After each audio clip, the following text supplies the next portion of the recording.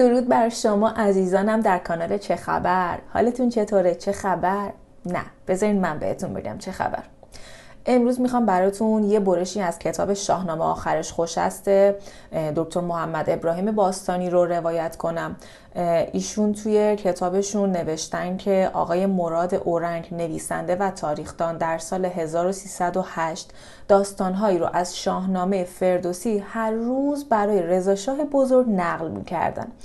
یکی از روزها رضا شاه بی اختیار شروع به گریه می‌کنه و ده دقیقه مدام اشک میریزه.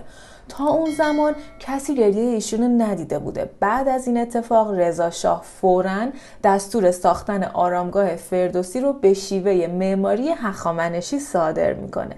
اگه دلتون می‌خواد ادامه داستان رو بشنوین کانال منو subscribe کنین اون زنگولرم بزنین و با من همراه باشین. داستان از این قرار بوده که شبی از شبای سرد زمستون مراد اورنگ داشته داستانی رو از داستان شاهنامه برای رضاشاه بزرگ میخونده.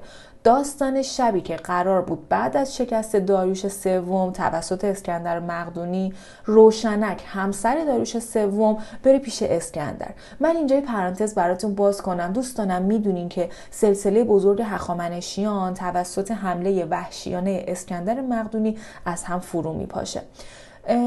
خب بعد از اینکه روشنک قرار بوده بره پیش اسکندر اسکندر اصرار داشته که مردم قبل از حرکت اون همه جا رو مزین و چراغونی کنن. در حالی که مردم اصفهان مثل همه شهرها لباس ماتم به تن داشتن و اعضای ملی اعلام کرده بودند و حکیم فردوسی در یک بیت شعر این حالت رو بیان کرده. ببستند آزین به شهر اندرون لبان پرز خنده دلان پرز خون. رضا شاه بی اختیار شروع به گریه کرد و دقایقی رو اشک ریخت. تا اون زمان کسی گریه ایشون رو ندیده بوده. بعد از اون اتفاق رضا شاه دستور ساختن آرامگاه فردوسی به شیوه معماری هخامنشی رو صادر کرد. طرح اولیه آرامگاه فردوسی به شکل هرم بوده که با مخالفت رضا شاه و زوکا الملک فروغی در سال 1308 این طرح تخریب شد تا به جای اون آرامگاهی به سبک ایرانی هخامنشی ساخته بشه. بنای آرامگاه فردوسی در 12 مهر 1313 به مناسبت جشن هزاره فردوسی به دستور رضاشاه ساخته و افتتاح شد. خود ایشون هم توی اون جشن و در زمان افتتاحیه اونجا سخنرانی کردن.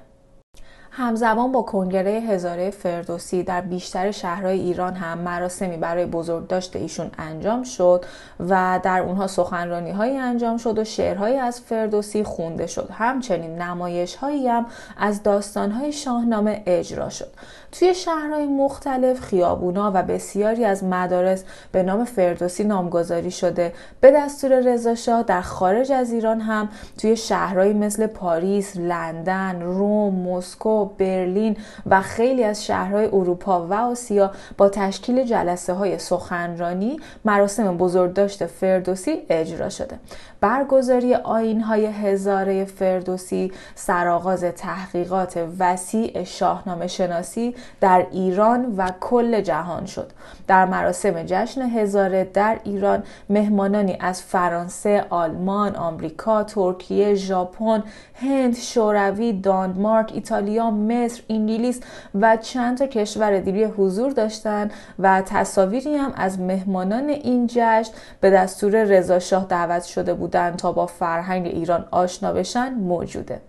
خب دوستانم هممون تا حدودی می‌دونیم که رضا شاه بزرگ در طی 16 سال حکومت خودش به اندازه 100 سال به ایران و ایرانی و تاریخ و فرهنگ ایران خدمت کرد و تمام تلاشش رو کرد تا میهن پرستی و ملیگرایی که در زمان قاجار تقریبا نابود شده بود رو احیا کنه. اون به کمک فرزند عزیزی که تربیت کرده بود توی این کار موفق شد. ایران دوستی با وجود این دو شاه پهلوی یه معنای دوباره ای گرفت. عزیزانم امیدوارم که از ویدئوی من خوشتون اومده باشه. کانال منو سابسکرایب بفرمایین و اون زنگوله رو بزنین تا از درسای بعدی جا نمونین